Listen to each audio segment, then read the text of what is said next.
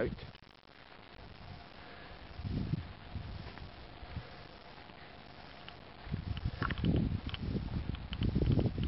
Some of the beauty around the historic uh, Nelson's Dockyard National Park in Antigua. This is one of the trails around here. Friends the goats. Give Antigua time and it will grow on you. Sometimes it is nice that it is not manic and busy. Hi, this is Calvin for bestantigua.com. Um, bestantigua.com. I'll get used to it.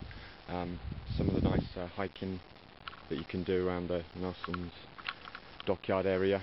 Um, thoroughly recommend this as uh, a thing to do.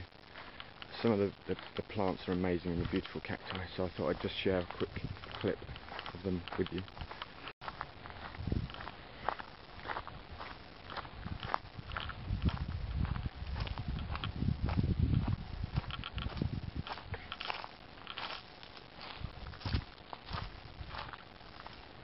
It's lovely, just, I don't know, it's, I love hiking, this is a great place to hike, look, just a headstone here. You can go to our site um, to read more about the history of the area. Nelson uh, spent some time here. And some people died here. Mm. You can see these white rings that keep you on the on the trail. Well, at least I'm hoping that's what they did. I just had to haul ass out of a um, bees nested little area, so looks like some people have been here before. That's a good lady's position away, a little um, hermit crab thingy. Hey fella.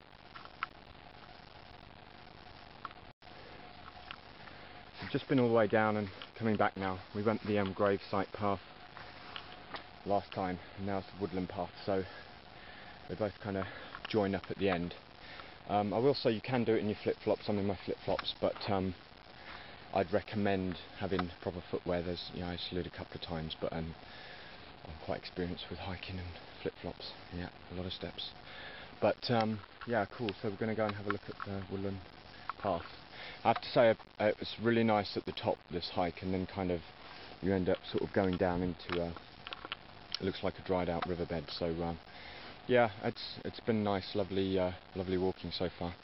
So I'd estimate it probably took me about an hour. I didn't put my watch on, such as Antigua. So uh, bestantigua.com and Calvin out.